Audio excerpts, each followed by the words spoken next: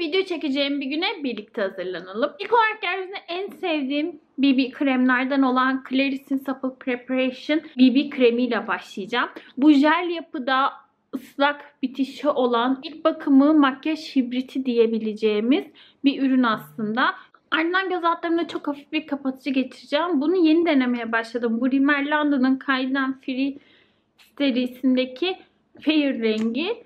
İncecik bir yapısı olan aynı zamanda da gün boyunca kalıcılık sağlayan çizgilere dolmayan güzel bir kapatıcı olduğunu düşünüyorum. Şimdilik izlenim olarak gayet güzel gittiğini söyleyebilirim.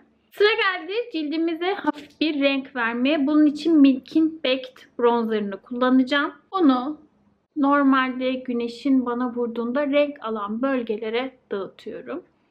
Bu bronzerın tonunu özellikle kış aylarında çok seviyorum. Sıcak bir alt tonu var ama çok böyle turuncu turuncu da durmayan bir renk. Bu şekilde karıştırma fırçama biraz bronzerdan alıp gözümün katlanma bölgesine uygulayacağım. Ardından allık olarak Fenty'nin bu yılbaşı koleksiyonundaki ikili krem allığın bu daha beri olan tonunu alacağım. Özellikle gülümsediğimde ortaya çıkan bölgelere yoğun olarak uygulayacağım.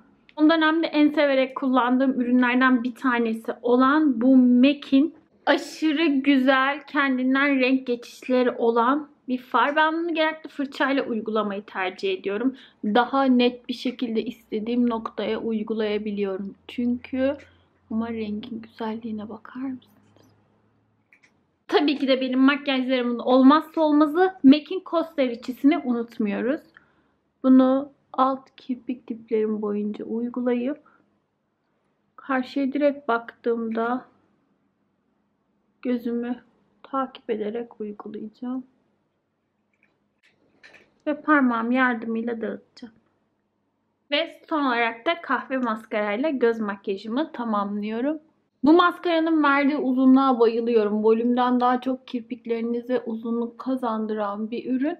Ve çok doğal duruyor. Günlük kullanım için çok kıymetli bir ürün haline getiriyor. Kaşlarımı Anastasia'nın şeffaf kaş jeliyle sabitleyeceğim. Bu resmen bir uhu gibi olan ama kaşlarınızı çok doğal şekilde gösteren böyle beyaz beyaz pütürler oluşturmadan sizin yerleştirdiğiniz pozisyonda bütün gün durmasını sağlayan bir ürün.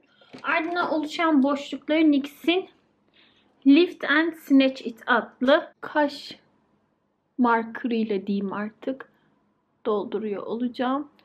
NYX'in Nude Truffle dudak kalemini alıyorum. Dudaklarımı çerçeveliyorum. Clinique'in Black Honey'si ile devam edeceğim.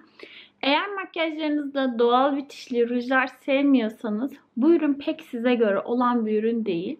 Tarz bir rengi ancak birkaç kat sürdükten sonra elde edebiliyorsunuz. Eğer ürünlerinizden yüksek pigmentasyon bekliyorsanız yapmayın. Ardından tabii ki de Black Honey Gloss geçeceğim.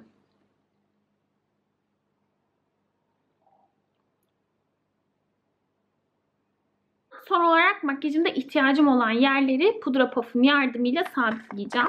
Burada Rare Beauty'nin pudrasını kullanıyorum ben. Bendeki rengi light rengi. Bir miktar alacağım. Pudra pafına güzelce ürünleri yediriyorum. Fazlasını da alıyorum. Ardından göz altımdan başlayarak makyajımı sabitliyorum.